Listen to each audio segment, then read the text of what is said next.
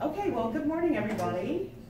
I'm Jennifer Baxmeyer from Princeton University, and you are in the um, session for application profiles.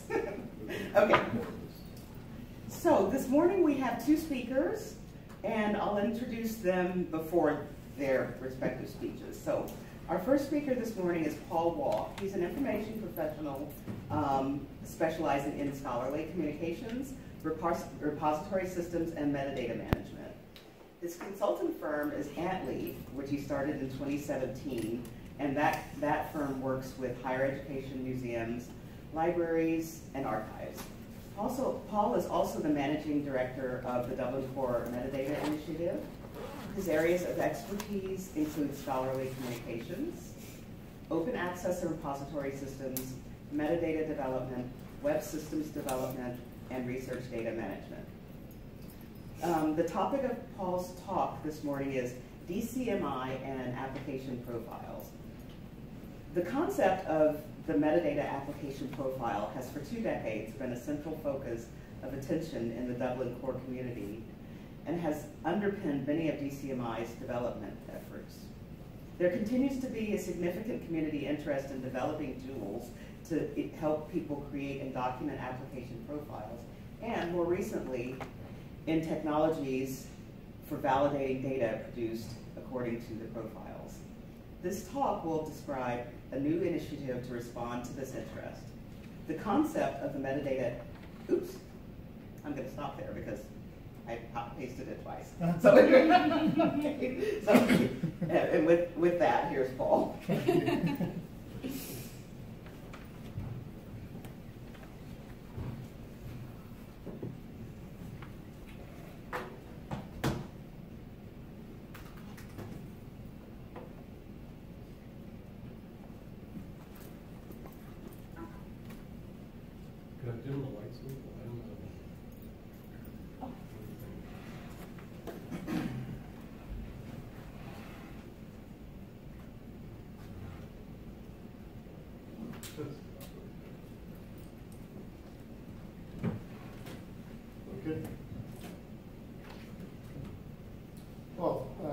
much for inviting me to come and speak here. My first time in Boston, um, and the weather's turned out really good. So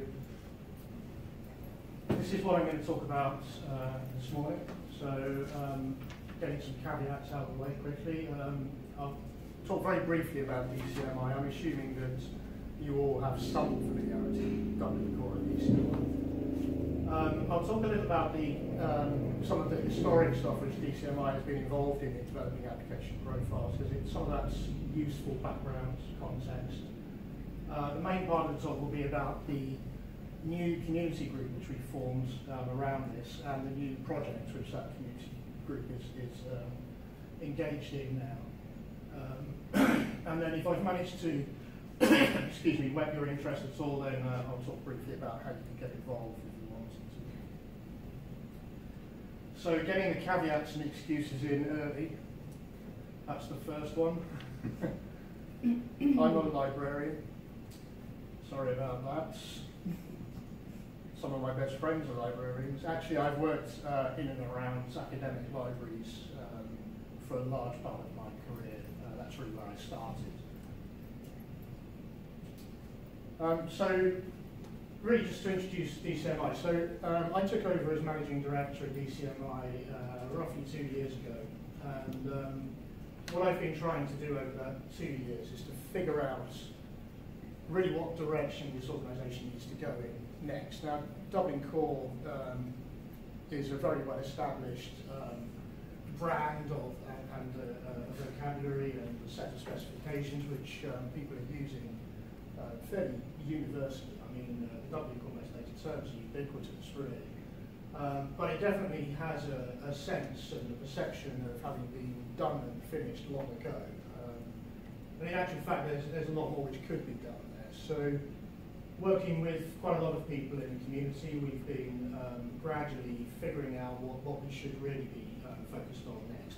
We still have a lot of support. We have paying organisational members who are are interested not only in just ensuring that we are sustained and that we continue to look after these specifications and so on, but also we, we develop into new directions. So as a way of focusing this effort, what we did was took the website, which is one of the oldest websites in the world. I mean, Dublin Core was early into that. Um, and it's been in continuous production um, for, you know, 25 years, I guess, by now, something like that. Um, I've done a lot of work with um, rebuilding websites in the past, and I, nothing on the scale of the Dublin Core website. This is gigabytes of stuff, and it's all text. You know, it's not big multimedia files. It's just an extraordinary amount of material. So what we've done is try to um, represent Dublin Core around these, these sort of four themes, these four areas, which are stewardship, community, learning and development, with stewardship being the one which is probably most familiar. Um, the work that I'm going to describe today would fall more clearly into the development category. Um, this is really our um, first um, step to um, begin to look at developing new things. All of this is very new. I mean, this website was launched about um, just over a month ago, so it's all very early days. Some specific new things which uh, we've done uh, recently, which you may find interesting in, in the library community. So um, we acquired a thing called the Linked Data Competency Index, which was developed by the LD4PE project we had a, an arrangement, so I say we, this slightly predates my time, this arrangement was uh, made in around about 2016, I think, um, with Washington University to um, agree to take on and look after the outputs from that project for a minimum of two years. We think that the competency index itself is a potentially very valuable resource, so we're committed to looking after that um, for certainly well beyond two years. Uh, but what we would like to do is to try to engage more with uh, practitioners working with linked data to see to what extent this um, can become sort of frame for developing learning materials and other resources which help people who are involved in um, teaching, learning, training in data.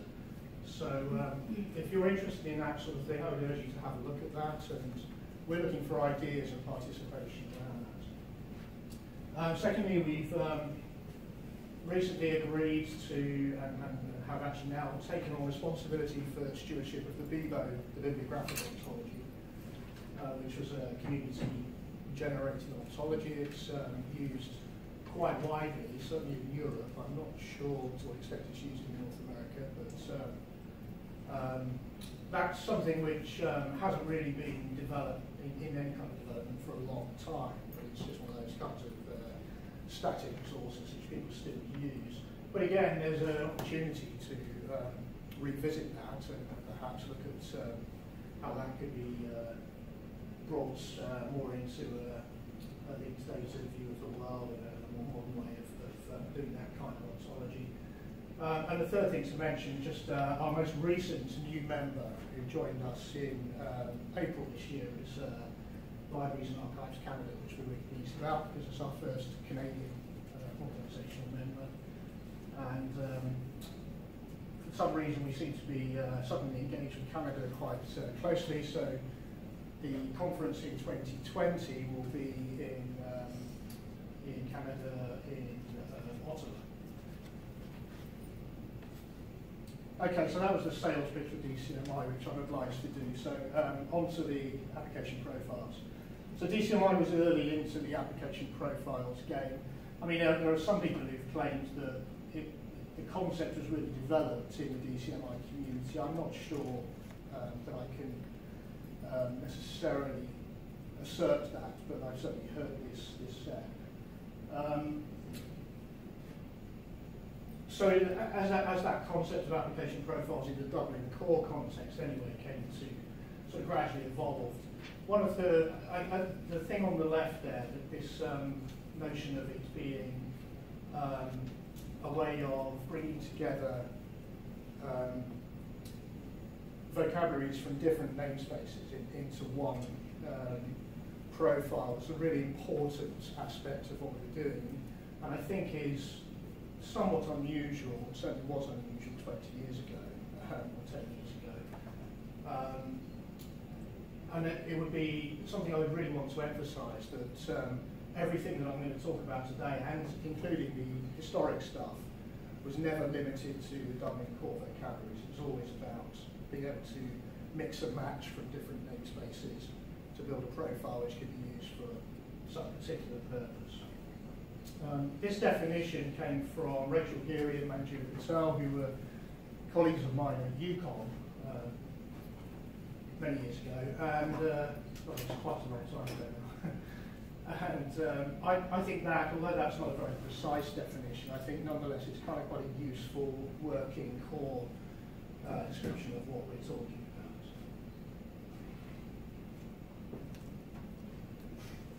So more history. Um, there was this thing called the Singapore Framework. Hands up who's heard of the Singapore Framework? Good, okay.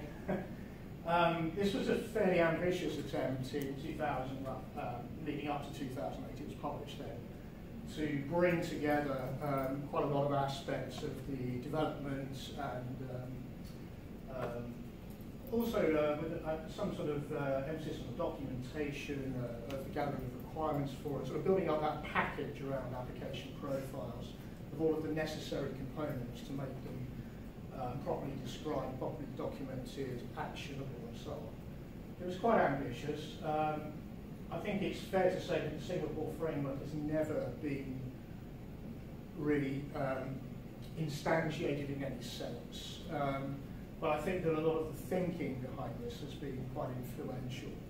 Um, and in fact, from it emerged um, one of the components was the description set profile, which I think has been pretty influential um, and is still being examined even in the new work, which I'm about to describe.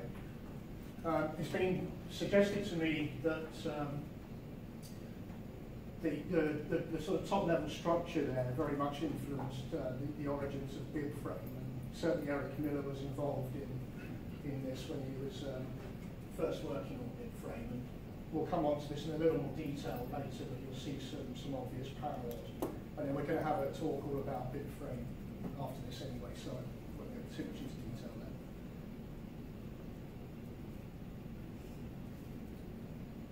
Um, I won't dwell on this, but this is um, probably, you know, at the extreme end of the sort of um, thinking and, and, work and development that was going on around that time uh, as part of the um, Singapore framework.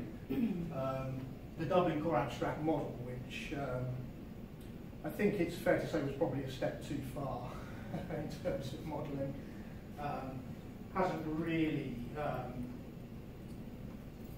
become the foundation of anything in particular. But again, there was some very interesting thinking. It, the, the thing about the Dublin core community then, and I hope going forward, was that it's a community which is extremely open and tries to do all of its thinking in the open. Um, all of it's on and so on, discussions. And so this kind of thing is um, really uh, useful occasionally just to reflect on and look back at it and see the sort of genesis of some. But I won't dwell on this. This is, uh, this is one for the, uh, for the archives, really. almost Um, and then a, a, slight change of tack, but I think this is something which um, I'm particularly interested in. Um, it's slightly tangential to probably what we'll mainly talk about today, but I want to just flag this up. So one of the problems with application profiles, in my view, is how, how they're developed. Um, if you want to help a community to develop an application profile to enable it to do some uh, process within its domain of interest that involves interoperability between different standards and so on, then you need somebody who understands how to construct application profiles to work closely with people who probably know nothing about that sort of thing but understand their domains. And so we did some work at UKOLN. Uh, this is um, Emma Tonkin's work. She was a colleague of mine at UKOLN at the time.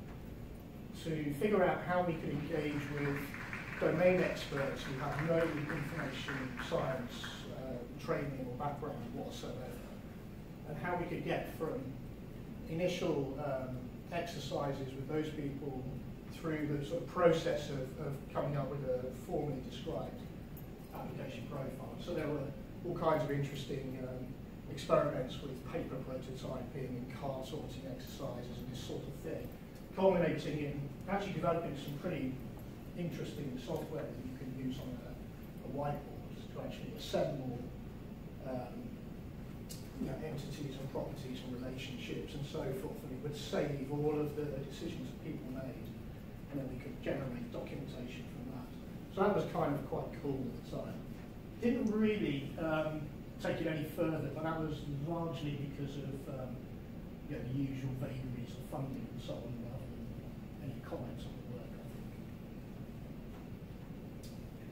So, um, as part of sort of trying to reboot uh, DCMI, we started to, uh, we reviewed um, nearly 100 um, community groups that have existed over the, the years at Dublin Core. Um, retired a great deal of them where they had sort of run out of steam over the years or, or hadn't really been active for a long time. Uh, we've kept a, a few of them going, but we've uh, introduce some new ones, and um, this is the one which is relevant here. So this is really only three or four weeks old, uh, but it already has um, quite a few people have joined. Um, there's a mailing list, the usual um, sort of things, and this is being chaired by Karen Coyle. Um, pretty much everything I'm about to talk about next, I'm just channeling Karen Coyle. In fact, I was going to print this out and then just sort of where like this. so uh, Karen is chairing that group, but she's also um, done a lot of the work to sort of seed the project which this group is overseeing um, with uh, thinking about application profiles. There's a GitHub repository. Um, most of the discussion that's interesting at the moment is actually happening in the GitHub repository on the issues um, because what we, I'll explain in a moment, but we're gathering use cases and so on. And so the comments threads there is where quite a lot of the uh, the action is at the moment. But there is a discussion list as well. So you only need to make a note of that one URL if you're interested. Uh, and all of the links to everything I'm about to describe uh, are on that one page. Okay? I've got that link at the end as well, so to actually come to this, this new project then, um, so as it should be apparent, this concept of application profile is kind of dear to our hearts at DCMI. Um, and then we have realised that there is still really strong uh, community interest in developing this idea further. It's seen as sort of unfinished business, I think, by quite a lot of people in the community. Um, there's a particular interest in validation as well. Um, so quite a lot of the people who are interested in working with us are also very interested in working with things like ShEx and SHACL. Um, I'm not going to go into too much detail about those because that's a whole other presentation, but um, that is one of the, the sort of specific drivers. I would say my own um, interest, apart from the, the thing about agile development, is also finding very um, easy ways of documenting and publishing these things. It's really important. And at DCMI, we've done a lot of work recently on um, looking at things like uh, static site generators for using um, things like Markdown to generate very uh, low cost, low resource websites that are easily maintained. But this is the aim of the project. So um, this, this idea, I Dublin Core is famous for its core vocabulary. This is what um, this is what we do. And it, it's, um, I think that the, the discussions are, are fairly, uh, yeah, providing this of fairly clear notion that um, that trick of having a core vocabulary can be useful uh, in the world of, of describing application profiles as well. Something which is quite small, quite universal, gives a, a general level of interoperability. The sort of thing that Dublin Core does. Um, so the, outputs were, which we're expecting to produce uh, um, use cases, so we're already gathering those, um, generating those. um, figuring out what the requirements are. Now, what is the problem we're trying to solve here? And there's a sort of a general understanding and consensus that there is a problem to be solved, but need a lot more clarity about what that problem actually is. And gathering use cases is one way of helping to, to get to that point. Um, this working assumption that basic vocabulary is, is what's needed. Um, and then aligning this with similar efforts uh, or related efforts going on, such as the validation work and so on. So example workflows, examples, maybe even a demonstrator, some kind of demonstrator system. Not um, beyond the bounds of possibility if we are able to find a way to use the things which we've been having some success with recently, like static site generators and so on. So quite sort of ambitious, but um, we're not under any time pressure. Um, we tend to think in decades of Dublin Core, so uh, um, I hope this won't take decades, but uh, it's, not, one of these things where we have a deadline to get something knocked out by the end of next month. You know, so this, this could take a few months.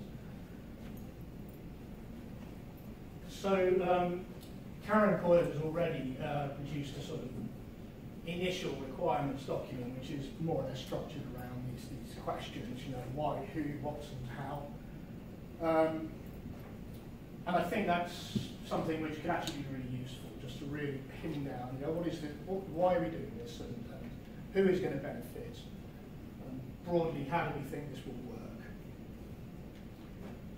Um, the how is um, interesting because I think the Dublin Core community and certainly the people involved so far are probably more focused on the what and the who and sort of assuming the why and aren't really thinking about the how just yet. I'm a software guy actually, I'm not really a metadata guy as such, although I do a lot of work in metadata, so I tend to be very interested in the how, I'm always interested in implementation. But so the order of these things is interesting. I think, um, and this is not uncommon. I think in, in um, these kinds of projects. Actually, it's um, the how might come a bit later.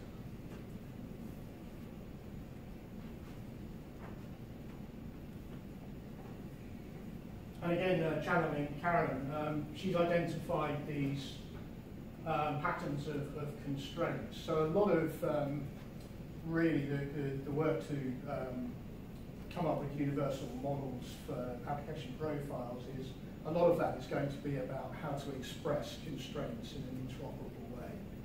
Uh, and that's where this work dovetails very closely with the um, validation work, you know, it checks and shackles. Um, so trying to get this down into, into English, um, you know, actually explain these things is part of this project.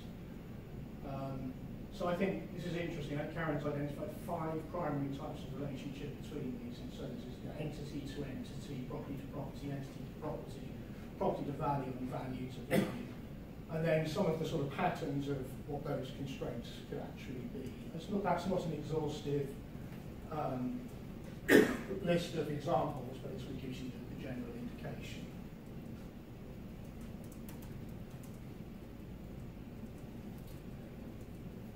And then uh, a couple of other things um, which emerged from the historic um, Dublin Core Application Profiles work. This notion of a, um, primary entity. So in the world of RDF and graphs, um, and I think this, this sort of problem comes up all the time actually, I've noticed this in other contexts. Um, we have this tension between the graph and the record. And a lot of the thinking about application profiles, I think, tends to presuppose that there's something that's not dissimilar to a record being um, described. You, know, you have a set of constraints which are going to be applied to a thing, and that thing is somewhat like a record. It might be part of the graph, but it's... And so this idea of having primary entity, which is essentially the, the starting point in the graph, you know, it's the where, where does this um, thing that you're describing in the application profile begin in the graph? That's what that's um, talking about. And then if that has an identifier, that becomes essentially a record identifier. These are quite grey areas, and I think this is uh, one of the areas which is quite interesting to sort of figure out. Um, and then the, um, the, other, the other constraint is this notion of open or closed. So, excuse me, if you have an application profile which specifies a whole bunch of um, entities and properties and value constraints and so on, um, if you're um, running a validation exercise and you receive some data uh, which which satisfies all of those but has some extra uh, entities and properties in it, is that actually an invalid? Does that invalidate that um, that thing or not? That's really what that question is asked. Or perhaps a, a more subtle way of saying, how do you deal with the extra stuff that you quite typically receive? I guess you can just ignore it. So um, again, this is Karen's work. She started to um, compare some of the existing vocabularies used to describe application profiles. Um, and um, this is in a, a table on, on the GitHub repository, which I gave you a link to. So um, there are columns here for the Dublin core description set profile, the DCAP entity um, Sinopia's in here somewhere. Yeah. Um, BIBFRAME. Uh, and we could obviously add to that if there were other vocabularies that were pertinent. So this is a an incomplete um, and somewhat experimental way to try to relate these vocabularies to see see what's commonality uh, mappings we might be able to to extrapolate from that. And then a similar table, but this is just really um, trying to figure out the, if we were starting from scratch essentially, what, what elements would we want to have in a, um, to describe application profiles. Um, so this is built around this description set, description statement, value, structure.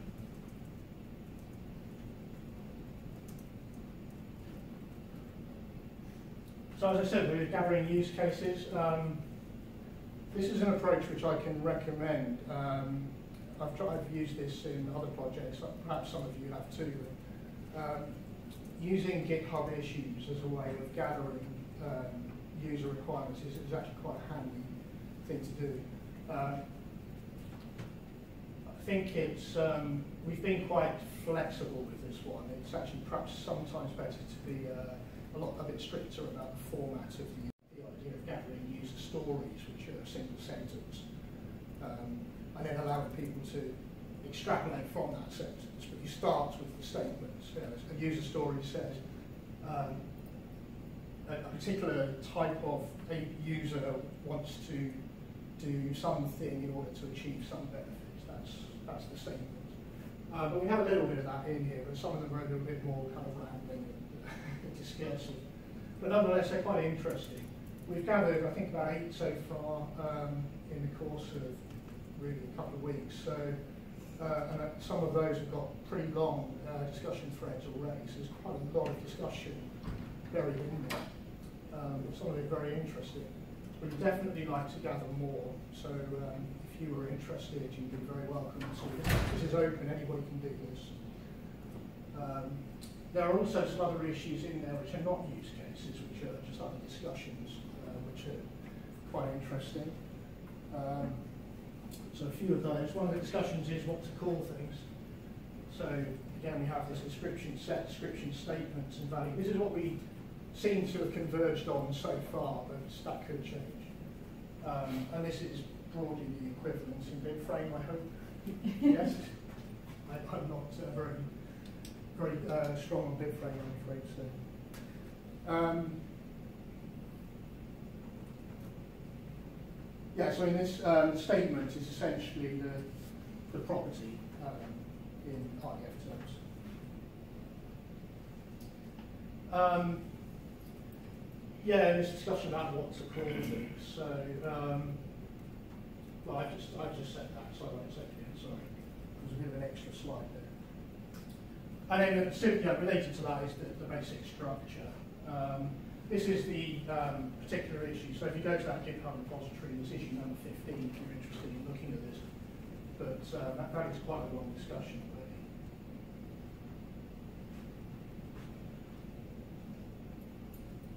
This is an interesting little specific problem or, or issue with this, which is um,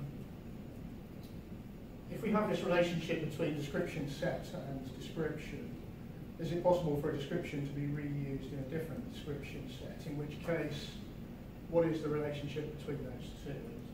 We have this notion of, um, at the moment, I think the default and, and the, the thing we inherited from the DSP is the idea that the description um, sets points to the, sorry, the description points to the description set of which it is a part. But it might be better for the description to be able to exist and be referred to, referenced by description sets. So that, that hasn't really, um, the discussion on that one hasn't really got going yet. That's just, uh, somebody's just put that, I think it was Karen again, just put that as a, you know, a problem to, to look at. Um, but obviously, once you get into that, you start to get into um, you know, identifiers, global identifiers for descriptions, and so on. Maybe that's necessary, that could become necessary part of this. So finally, how to get involved. Um, everything I've just described in that last section is, is really just a, a beginning. Uh, it's really early days. I mean, we've only been doing this for a few weeks. Um, so we're trying to gather more use cases. I think we don't have enough. Uh, we don't have enough range yet. Um, something I would like to see is some um, use cases from open science domains, that, that sort of thing. We don't have anything like that so I think I know who I can talk to to gather a few of those. But uh, there, there, are some quite big gaps, but as I say, it is, it is an early part of the process.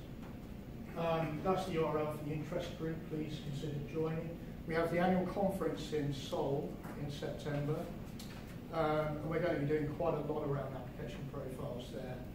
Uh, in fact, Karen will be there and will be speaking there. Uh, we're going to run several sessions. And we're hoping that this work will a little more advanced by September so we can start to really um, make some progress there. And uh, please, if you represent your institution, consider joining DCMI. We need all the support we can get. Um, what I'm very keen to do is to get our organisational members to really set the agenda for what we're doing. So if this is something you care about, then that will be a useful way to influence it.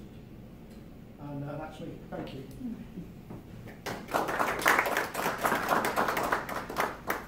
Thank you, Paul. Does anybody have any questions for Paul um, regarding anything he talked about? We'll also have a general discussion after both presenters are finished, but if we have any specific questions, we can take those now. So you were saying that you acknowledge that there's different languages now to capture um, uh, application profiles. Is it DCMI spoke to reuse one of those? Just have an application profile for the application profile, or, or like an implementation model for, for if, if a language meets the use cases, or do you foresee developing another language for application profiles? That's very much the um, main part of the argument that's going on on the, on the list. Okay. Um, so I'm not going to prejudice that discussion. okay. This is me Fair. weaseling out of answering your question. Um, I think that, that is that is one of the really important questions that's come up immediately. Um, yeah. Is the extent to which we reuse, um, introduce new terminology. There are a few people um, who are saying, well, actually, you know, we could reuse terminology which we, as in the community, introduced 15 years ago, and it's actually everybody else that should adopt that. you know? So um, but, but, I think that, yeah, but I think that's an interesting question. Um, I, am going to try not to, to prejudice that at all, um, but I would be disappointed if we just invented some completely new thing without paying serious attention to, yeah. Any other questions? Hello? So you mentioned that there's already a number of uh, people that have joined the interest group, and I was wondering what type of representation is uh, on this, like what institutions and from where? I have no idea, I'm afraid. I haven't really Okay. checked that. I mean, I, I, have noticed um, a few people, um, so I could give you some examples, but I haven't tracked where they're from. Um, so we have um, certainly several European academics um, who really just do a lot of research in this kind of area. Mhm. They're interested in seeing this taken forward. We have um, a couple of um, Japanese guys who are um, much more on the implementation side of things. So they're, they're interested in, uh, so they're very interested in Sinopia and things like that as Mhm. well, um, looking at how um, uh, whatever comes out of this can be done in a way which is implementable. So I'm very glad that they're, they're also involved. Um, we have a couple of people who are um, really interested in the just the they're just the interoperability people. You know, they're very interested in making sure this uh, works well with some of the W3C initiatives, for example, and if there is a related um, thing going on in W3C actually at the moment, uh, the data uh, data exchange working group, I think it's called, uh, where there's some overlap here. Um, so it's quite a range, but I'm afraid I haven't followed. Um, once uh, the numbers had sort of gone up, I stopped following it, stopped checking. Thank you.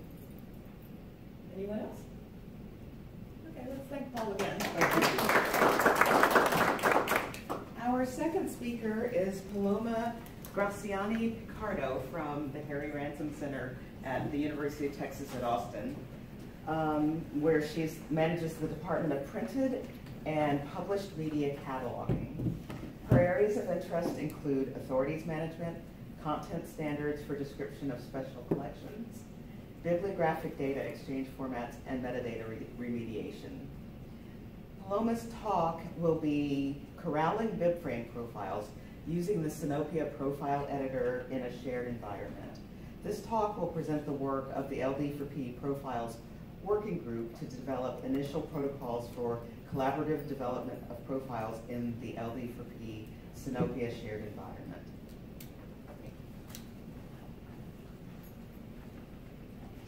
Um, hi, everybody.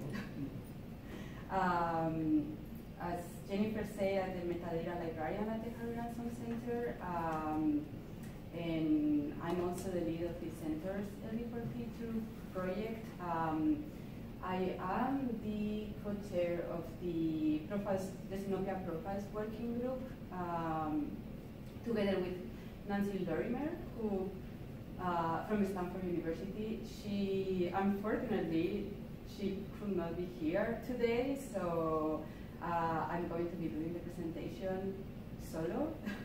uh, and I say unfortunately because she is the expert on profiles. Um, I, I had to admit that I joined the working group because I didn't know anything about profiles and our project required um, devel the development of very specific pro uh, profiles for, for rare materials, so I needed to get up to speed and that sounded like the, the best way of doing it in getting involved in those conversations, so um, bear with me. Uh, um, Jeremy Nelson is here, uh, so if there is any very hard question that I did not answer, he has graciously agreed to, to back me up on this. So, uh, so why corralling different profiles?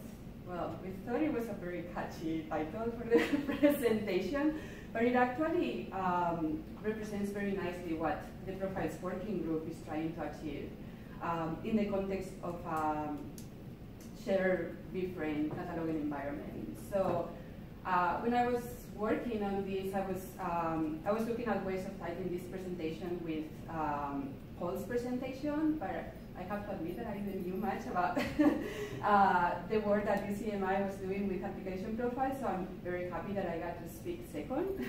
And I, now I see that this is going to be basically like a case study of everything that you have presented. And a lot of the issues that you have brought up are issues that we have to be like we are currently dealing with. So, um, so I think that um, that would be um, interesting.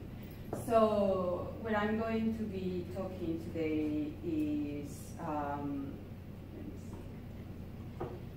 I'm going to be first talking a little bit about different profiles, um, and then I will introduce the LD4P Sinopia Profiles Working Group, uh, the, and the work that they are doing in terms of best practices for using profiles in a, um, in a shared environment. And finally, I'm going to do some, um, a quick demo of the workflows for creating, using, and management profiles in Sinopia and in GitHub.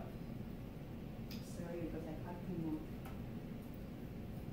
into different places. So, um, the BIBFRAME model is by definition very, very flexible, um, as it should be able to accommodate the needs of uh, existing vocabularies and also vocabularies that have not yet been developed but will be needed by different communities. Um, so the BIBFRAME profile allowed to provide um, linked data editing tools with ways of const constraining these vocabularies. Um, so this is an attempt to like put as much information about how a, what a BIBFRAME profile is at this point in just like one slide. So um, um, as you can see, a profile, uh, it is it is kind of like a nested model. So a profile is a container for one or more resource templates. Um, a resource template is a container for uh, a single resource. So this could be compared with like a class in an ontology. Uh, and its associated property templates. And then a property template uh, is um, container for a single property and its attributes and associated values and associated um, associated values. Um, so so how um, how the the different um, values that are, um, a property can can be um, can be linked into it can be either like um, a literal, so it can be a text string or a controlled vocabulary or to another resource template. Uh, so that's where things get very complex when you are like linking to another resource template that then starts a new uh, a new set of properties. So it, it, it can be very very complex. Um, as the um, BIBFRAME uh, profiles um, that have been developed by the Library of Congress, and those are the ones that uh, we are starting from in Sinopia. There's um, these different types of profiles so far, and when you're talking about, uh, Paul was talking about how you call things, and this is one of the things where like, it, it's hard when there are not defined names for things, because then it's, it's very hard to explain how, um, uh, or everybody can be on the same page. So um, with the profiles um, working group, we try to create this typology of profiles to make it easier to understand. Um, you can have a primary profile, and this is going to be the one that it's basically based on a format. It's what you are going to be used if you are um, if just for cataloging a resource. But then you can also create a resource template a standing alone resource template. It still has to be within a profile, so we also call it profile, but you will never use that to catalog a resource. Just something that probably will be called from a primary profile.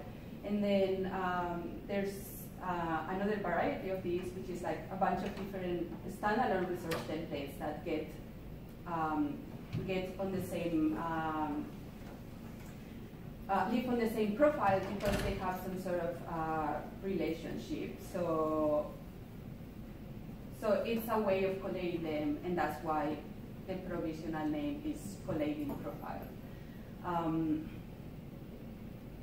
so, so this is um, this is what like this is the conceptual model of, of the profile right now. Um, Are you gonna have that up somewhere, because I can't, I can't read it. oh, I'm sorry. It is right They're, now they're on the the, um, on the uh, presentation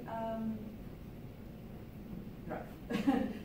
Each, um, for the LD four, there's a Google Drive, and each, um, session will have the presentations, Okay. and this one is, is in there. So So, um, because this is um, this is a collaborative environment, there's like a series of um, anticipated risks. So working in a collaborative environment facilitates profile and resource template reuse, but there that doesn't come without a cost. There's going to there's until there are best practices defined, there's going to be uh, there's like this issue of like proliferation of profiles and then um, a series of um, issues that might come with uh, when different institutions are reducing uh, profiles and resource templates that have been developed by another institution. So of course there's a lot of benefits on reducing profiles. Uh, creating a profile is um, it's very resource intensive uh, so reducing some other institution profile saves you time. You will uh, remain up to date with any changes to that profile and um, your data will be compatible with all uh, those who use the same templates. But the risk with this is that when you are reducing some other institutions' profiles, uh, you don't have control over the profile. Um, the owner can change it at any time. Uh, the profile owner might remove a resource, and that will um, that you need for the description of your of your own resources.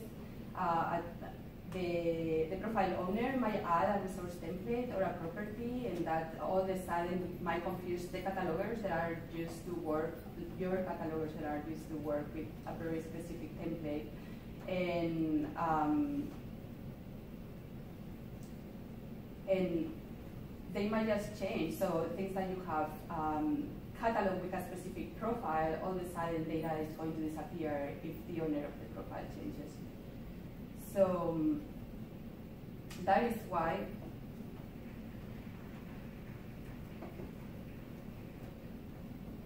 that is why the Sinopia Profiles Working Group was created. So in November 2018, uh, Nancy Lorimer submitted a message to the um, to the to the Google groups to, to get that conversation started and calling for um, participants in this working group, uh, and the group was formed.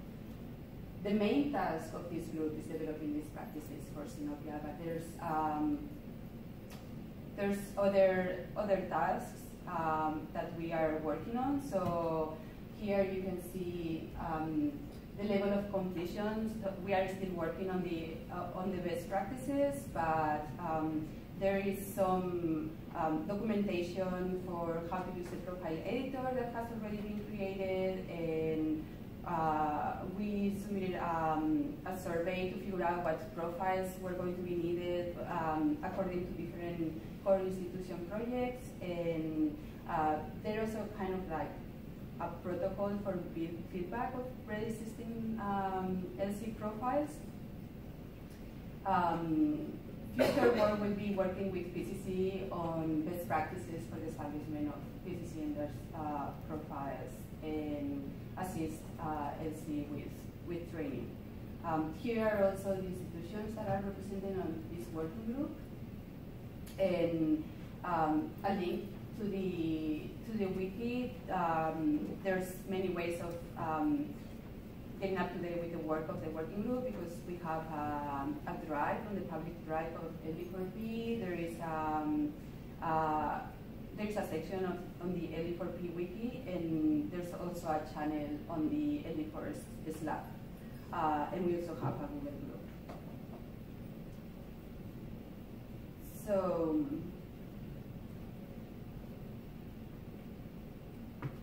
So the the Sinopia best practices that we're working on, um, I have divided this section into best practices for metadata fields and then best practices for creation, best practices for cloning, best practices for uh, for reusing. So the first one is best practices for for metadata field. And as you can see here, this is the metadata for a profile and the metadata for a resource template. And there are reasons why it was important to create best practices for this. Um, the, for instance, the, the title is what's going to allow to um, um, to scroll the different existing profiles. So, so it, it, was important to include who had developed the, the, what institution had developed the profile, what the profile is about, so that just by a glance and um, a, um, a person that needs to choose the profile can can tell all the information. So um, the ID um, the ID has to be unique, uh, and it also has to state whether it is a profile or a resource template, give some information about the content of the template profile, and um, collate an institution's profile together in a in in a potential list. Um, the best practices are still a draft, so they will be, once they are ready, they will be announced and published, but um, they are on the on the drive, so I'm just not going to now like say every single thing of it, but just to show that um, ID, title, author are um, are required fields, and again, the the author is to make sure that there is a person that is responsible for the profile. So because the intention here is that if you want to reduce the profile, you need to establish a, a contact with the institution that has developed that um, that profile. Um,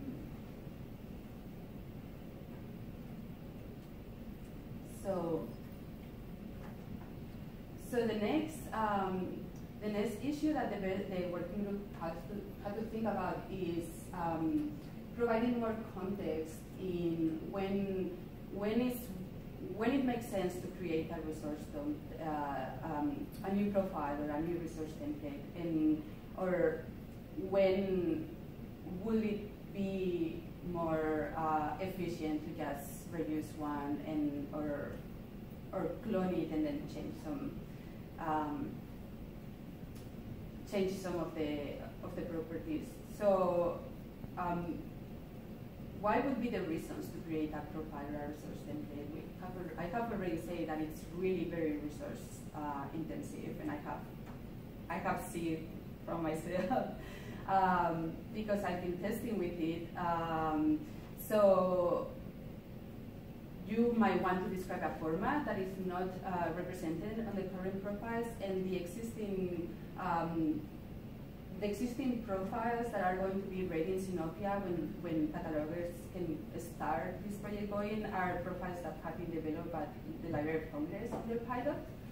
So, so not all the form, those profiles don't cover all the formats and you have different um, different projects from core institutions that are going to require profiles that don't yet exist. Uh, so those ones will have to be created. Um, you can you want to use a BIBFRAME extension that is not yet represented in a current profile. So maybe you are interested in one of the profiles. For instance, the Library of Congress profile has um, one for rare materials, but it doesn't include the ARM ontology extension. So if you want to add any of those um, any of those classes or properties into the profile, you need to you need to either create a new one or, or just clone it, but still have to, to do a lot of additions to it. Um, or you want to cover a format more broadly, you want to, to be more specific than the one that already exists. Um, etc. Um, you can, so why would you, the next the other one is like, why would you want to create a new research template? And it's basically the same. You are you will still have to develop a profile where that new research template lives, but you might want to add local defaults to a research template um, or replace a vocabulary. So if there is um, if there is a a value that is a lookup for for an existing control vocabulary, but that's not the one you want to use, then you will have to create a new resource template. Uh, and then add, um, add or replace a resource template that is being referred from to from another uh, current property. So you might decide that you need a new profile, you don't want to start from scratch, so the solution will be to clone an existing profile. Um, it prevents you from having to reinvent the wheel. Uh, I see that that's a typo, but it allows you to access to others' expertise, and, and it also encourages standard building when we all collaborate on profile uh, development. Um, we can actually discuss about the standards. Uh, the way to cloning profiles um, currently is to change the ID and label for all the profile for the profile and all the resource templates that are included in the profile. And then once the profile is yours, then that means that it's your ID for every single resource template and the profile. Then you can do whatever you want. Um, again, that's very dangerous because if you if you do some alteration on a profile but you are not changing the ID and you are not changing the label, you're just changing somebody else's profile. Um, let's so so that's the next question. Can I just add to a profile rather than cloning it? Only individuals from the same group, and this is going to be the institution that has created the profile. Some, uh, I don't think that this has started yet, but um, probably affinity groups are also going to be developing profiles that are specific for, for a format that around the, um, what the affinity group was created, and those will get be part of that group that has um, the um, the privilege to update profile. And I'm not quite sure how work, how groups, and that's probably something that Jeremy can talk about later. I don't know about like the, the state of the groups right now. Sure. So uh, based on the cohort and uh, their desire, we're right now not having that restriction that you can only edit profile or resource templates that are in your. Mm -hmm. Everybody in the cohort will be able to uh, write or use any other profile. Uh, so we're not doing any rights management right now at the resource template level. I would mention though that one of the advantages of the sort of the, the back end linked data platform we're using is that we do have sort of the, the metadata surrounding who did what on these resource templates. So um, the, someone goes and we can go in and see who did what at what time. Mm -hmm. So we Mm-hmm. do have like an, an audit trail of what's going on with a particular resource template. Uh, it may not, at least this first work cycle, it may be a little bit harder. You might have to contact the developers if you have that question, but we do have that history. So, that uh, I mean, again, if you want to update a profile and it is either if it's your profile or somebody else's profile, you have to remember that others might be using it. And that's kind of like the whole concept of profiles in the wild because because it is at this point there is there are no rules. I mean we are like just building the best practices. So there's very little that it can be controlled with the system. It is more of like being very conscious that you are working on a shared environment and that you can be messing with somebody else's work and somebody else's profile. So um, this is um, this I, I should have mentioned at the beginning that these are uh, initial best practices for the very early stages of use uh, of Sinopia,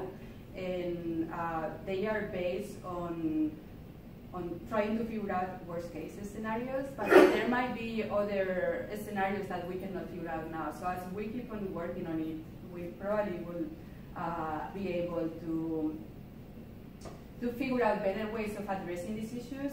But so far, the, the best practice would be if you are updating your own profile, you want to contact everybody else that is using the profile or the resource template in advance and um, also detail the changes that you are making uh, in your GitHub documentation. And I will be talking more about it later because um, when I show what the management workflow is.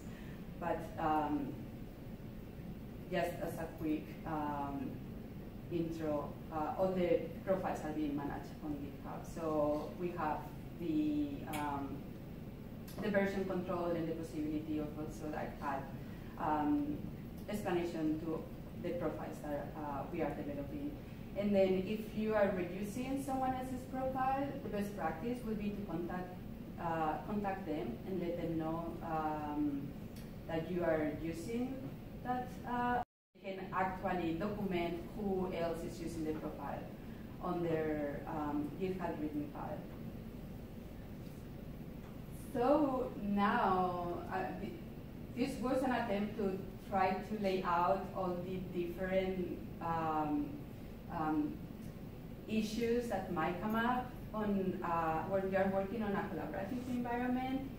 So now it's time to present the hero of this presentation the profile brandr. so that was uh, that was Nancy's idea. uh, um, but it very nicely in this whole like Corralian profiles. Um, this is a point person for profiles per each core institution. So that's one of the things that the profile working group tried to, to gather this information. Get one person per institution that will be in charge of um, managing and maintaining the profiles in their institutional directory in the LD4P GitHub, um, ensure that the profiles follow best practices, um, provide initial review and training for other um, other members of the institutions that will also be developing profiles and, and be the primary contact um, for the institution to the court or any question that may, may, may come up regarding profiles. So this doesn't mean that the profile brandr is the only one that is going to be developing profiles, but it's the gatekeeper of the profiles and kind of the, the responsible uh, person for all the profiles in the institution.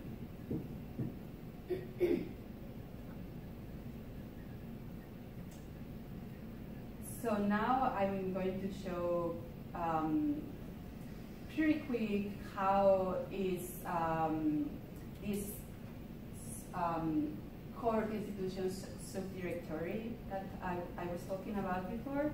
So this was also decided as, um, I'm not sure if as a temporary thing, but it was like we needed to figure out a place to store these profiles, make them available, and so that different institutions can see what profiles are available, and also keep some um, um, track changes, which like uh, Git is perfect for. So that's why um, we are currently storing the profiles on our own subdirectory in GitHub. So I can jump pretty quick here and, and show where this is. Um, this is on the LD4P GitHub. Um, let's see.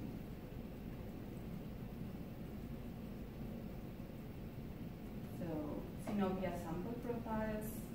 Um, this repository includes profiles from the existing profiles from Library of Congress, but it also includes the profiles that core institutions have been working on. So every single institution has its own um, its own subdirectory, and that's what makes that institution the owner of the profile. That's if you want to um, if you want to update or if you want to um, suggest, because you cannot update other institutions' profile, but if you want to suggest um, an update of a profile because you have um, seen that there is um, an error or something, you can do it through a pull request uh, here in GitHub. And right now, there's not a lot going on here because this is like the very, very early stages. Everybody is just testing and uploading their, their test profiles. But um, because every institution has a README file that's a way of also documenting what they are doing and what the profiles include. And University of Washington um, actually developed this very nice um, core profiles table of content. So they they have added it to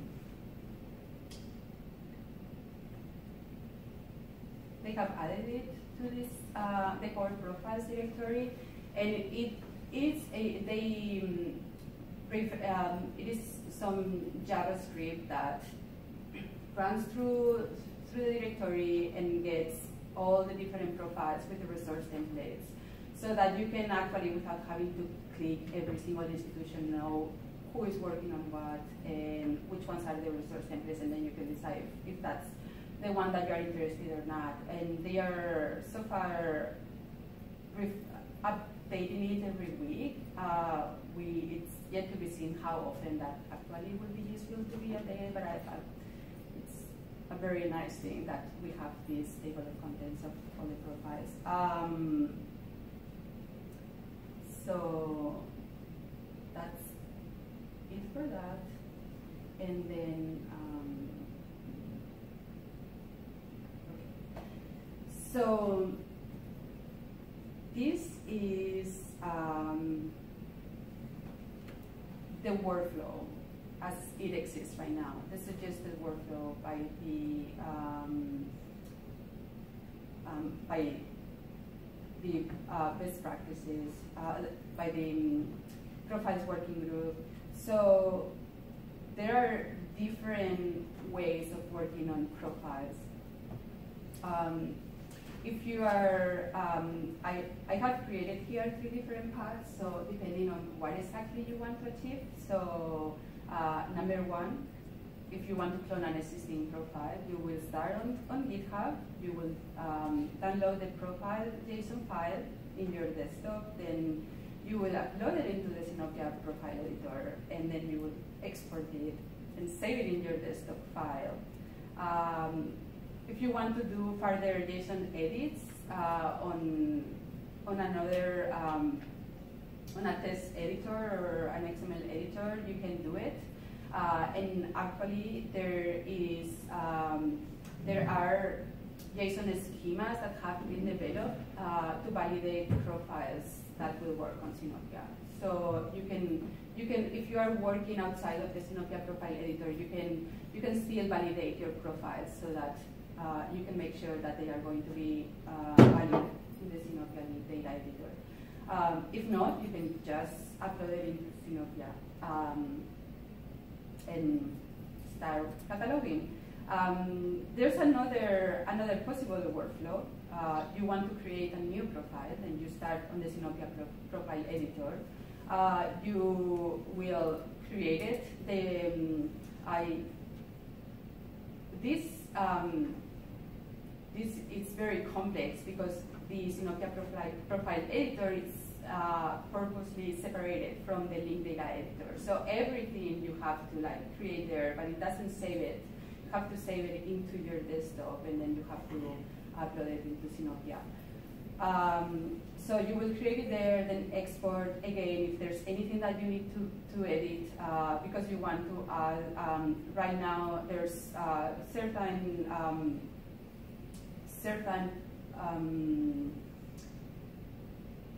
properties that uh, you cannot create on the Sinopia editor because um, if you want to refer to an, a resource template that is not currently loaded on the Sinopia editor, you need to uh, do that manually outside. So that's why I'm adding that extra step of um, just doing it manually. Again, you can, if you have to do that, you can validate and then you can uh, upload it. If not, um, you would just upload it into Sinopia and, and start cataloging. And then, um, of course, you can just start from scratch on your edit on, on that editor and skip the whole profile, Sinopia profile editor. And um, maybe you just want to clone a profile, so you can start on um, getting it from GitHub and then doing the all the all the uh, edits that you want to do on your um, text or code editor or preference. And this is just to show like the complexity of uh, the workflow.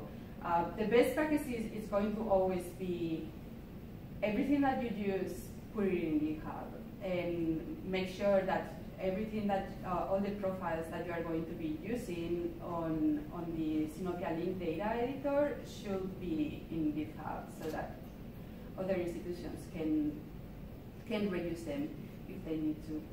Um, and then the next part of this presentation is going to be uh, showing how, how these tools look. I'm really don't want to get too much into detail this because Jeremy is going to be doing a presentation later on Sinopia.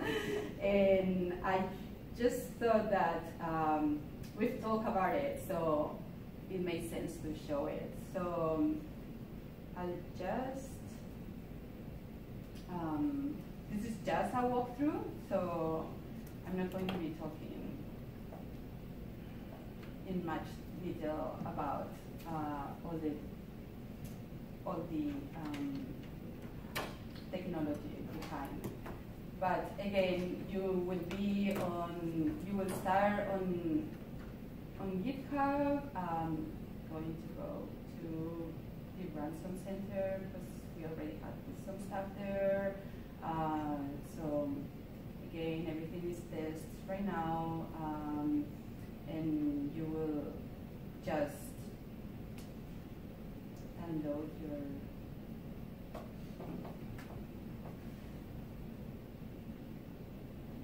you have to click on it so um, save as and that's creating the JSON file on your desktop. Then you will come here um, this is the main page of Sinopia, so if you are going to be uploading it into the profile editor, um, you don't have to go to the profile editor, you don't need to be um, logged in to work with the profile editor. Uh, as you can see, you can create a new profile or you can import, so I'm just going to import that one. And I'm not quite sure if this is going to, if it's going to validate. It does. Awesome. So I hadn't checked it for a week, so I, I wasn't sure. But um, here you can see how the profile looks as a JSON file. And here you can see how how it looks on the profile editor. So I have all the metadata for the profile, then I have uh, one of the resource templates. So it, oh, it has the metadata for the resource templates and all the different properties. And um, all the different attributes of the properties. Uh, in this case, it is um, it is a control vocabulary from um.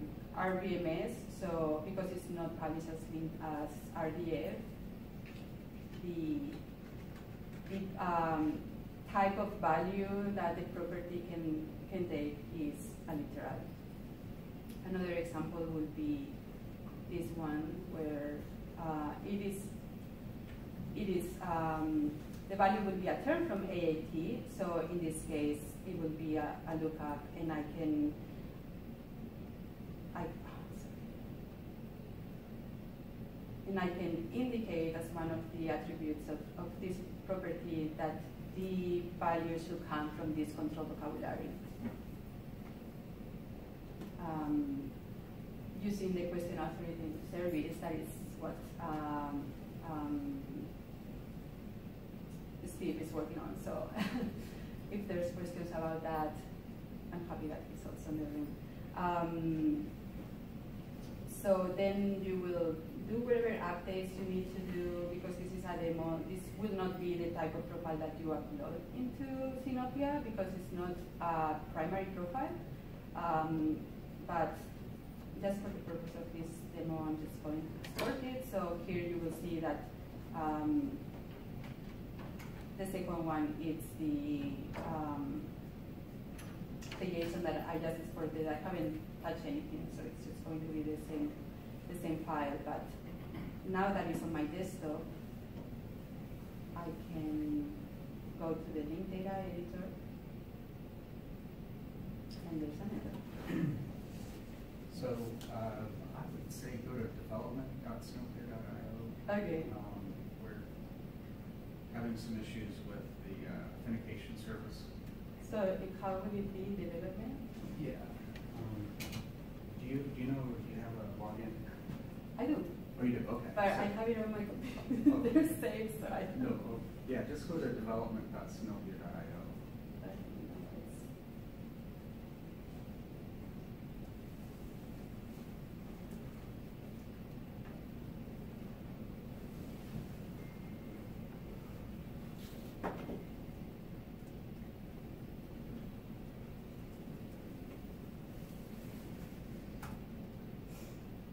So it'll look the same.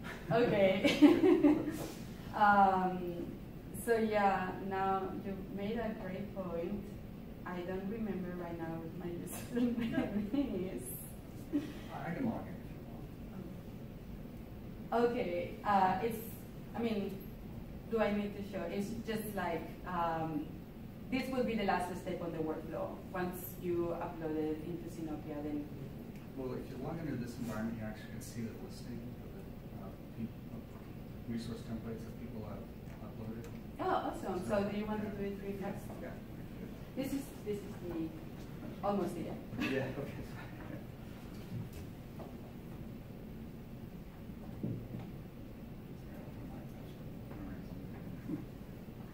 I should have the other one.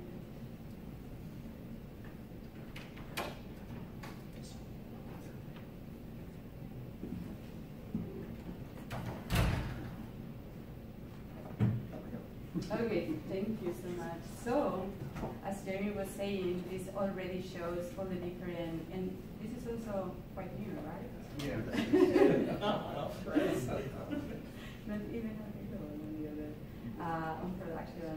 So you can see all the different templates that, um, and profiles that other institutions have already uploaded. I'm just going to upload this one just to show, so, um, in this case, will, this will be uh, a collating profile that has different resource templates that relate in some way uh, that I might want to use a, a, a another profile. But, so it has an error.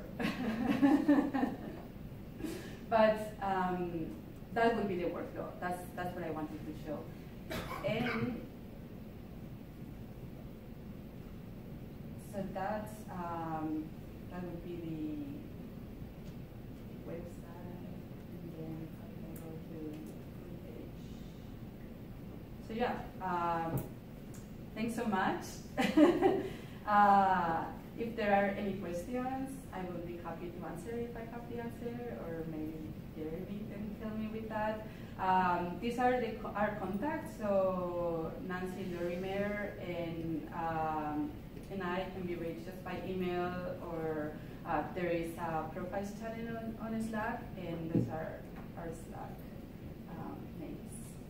Thank you. Do we have a question? Um, I'm struck by the fact that everyone's cloning profiles. Um, have you guys analyzed the changes that institutions are making to profiles for like material? Uh, not yet because I don't know how many institutions are. I mean, everybody's testing at, at this point, and I, um, I'm one of the member of one of the institutions that this is the first LD4P project that um, that we are part of, and there's many institutions like me that are just trying to figure out their way around. Uh, even like on last project, um, on the on the first phase, the profiles were using a different. Uh, like were being developed in SHACL. So everybody's trying to figure out how the whole profile happens. So there are not that many use cases yet to actually do that analysis, but that's a, that's a very interesting question. Like why why uh, institutions will choose to clone a profile as going away from like this is the norm. So I guess as we move forward and and see how that's happening. Uh, further conversations can come, and affinity groups can be created that that will actually um, develop a canonic profile that it's more useful than the existing one. Uh, so I have a sort of related question. Um, I, I, was a little unclear. It, it, seems to me there are two paths for cloning.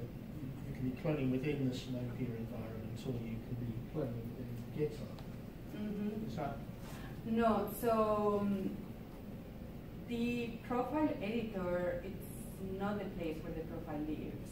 The profile editor is just a place where you edit the profile. So um, the profile lives in GitHub, and if you want to clone it, you need to retrieve it from GitHub. Right. And so the audit trail which you mentioned, which is in the Sinopia system, is in the And that seems to sort of collide with the Git's history.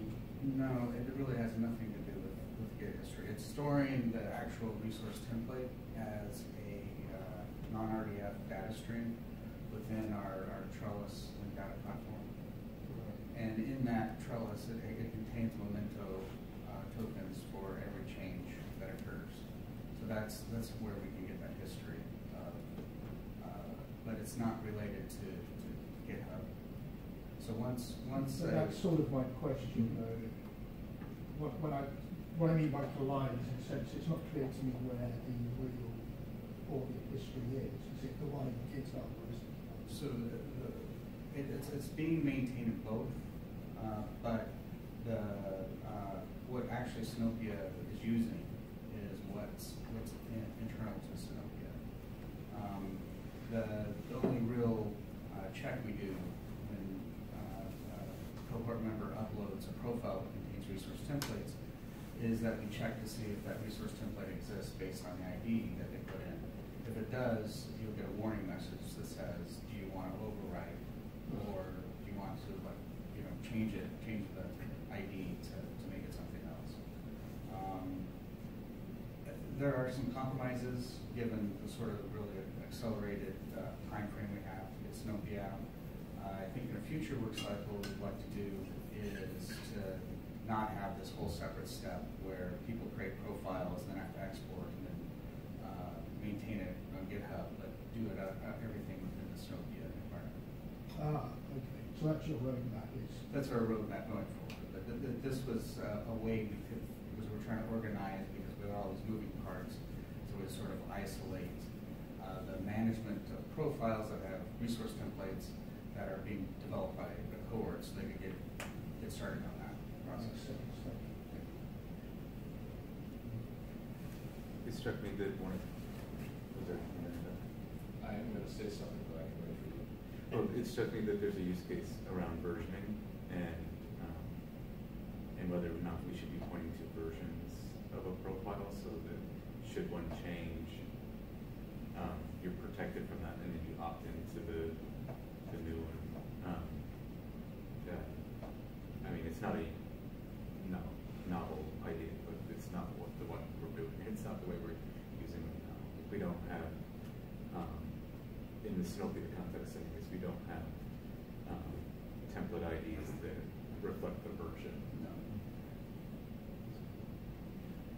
So, um, I'm John Chapman, I work at OCLC, I'm in charge of our applications, and, um, you know, this brought up something that we've heard more and more recently, which is, um, you know, we have this ideal of a shared catalog, the WorldCat, um, but there's been lots of sort of edge cases where, um, the model of one set of validation rules to rule them all has been extended and stretched a little bit to allow for some specific applications.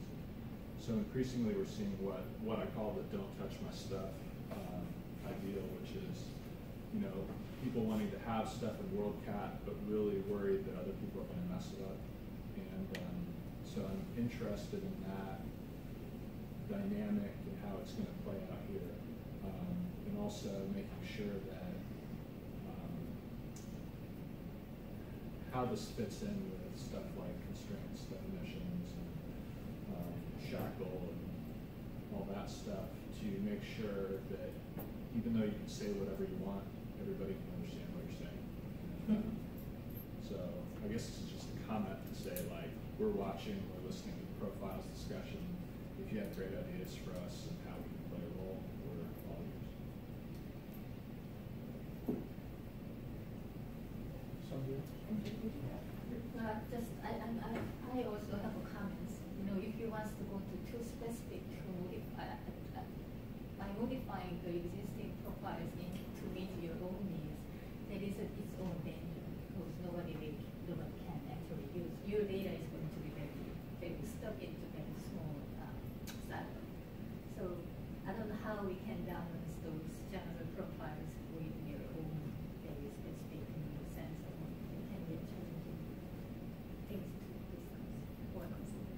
And I agree, and that's why like the, the group is trying to figure out all these use cases because I mean that's going to happen in like the profiles that we are developing. Like we also need actually systems that display them. So if everybody, um, and I think that's something that you have also mentioned. If somebody's like, I didn't know, want to start, but like the system is not going to take it because it's not actually designed to read those extra properties or whatever, like how, how that, so yeah, it has to be a community agreement on like what these profiles are.